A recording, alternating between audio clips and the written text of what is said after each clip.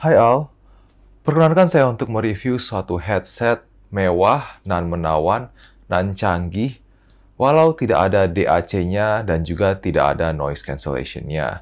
Ini dia Marshall Headset mode EQ. Sebelumnya jangan lupa subscribe channel ini dan tekan bell untuk notifikasi video kita yang paling baru. Marshall adalah merek yang sudah tidak asing lagi di dunia headphones. Box dari headset ini sangat premium, saat unboxing terasa banget rasa eksklusifnya. Tersedia manual headset dan juga paper wrapping yang tebal dan membuat headset ini rapi di dalam box. Dengan panjang 125 mm, jack Type L dan mikrofon beserta dengan clippernya, headset ini sangat nyaman digunakan. Ini merupakan headset loop ya, jadi makanya juga berbeda. Kalau pakai headset konvensional, dia langsung ke kuping dan gampang jatuh. Seperti saat gue gaming menggunakan headset ini, walaupun bukan headset gaming ini, tapi cukup nyaman juga digunakan karena bentuk jacknya itu L. Dan juga ada besi lekukannya yang membuat jacknya ini terlindungi.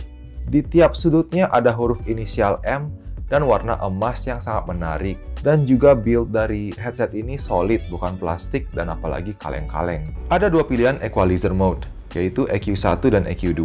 Yang satu adalah bass dan treble, sedangkan yang kedua adalah mid. Tetapi gainnya ini berkurang setengah. Sepertinya tujuannya untuk mengecilkan suara pada saat ada panggilan atau apa secara praktis. Panjang headset ini pun 10 cm lebih panjang dibanding dengan headset ternama merek AKG. 115 mm. Seperti biasa ada pilihan rubber ear cup sesuai dengan pengguna headset ini. Pada saat digunakan pun headset ini terasa nyaman, tidak lepas-lepas dari kuping penggunanya, dan mikrofonnya juga terdengar bagus ya, walau memang pada saat bermain game itu suara game yang mendominasi secara default. Hai Al, saya untuk mereview headset mewah dan menawan dan canggih walau bukan DAC dan tidak ada noise cancellation-nya. Ini dia Marshall headset model.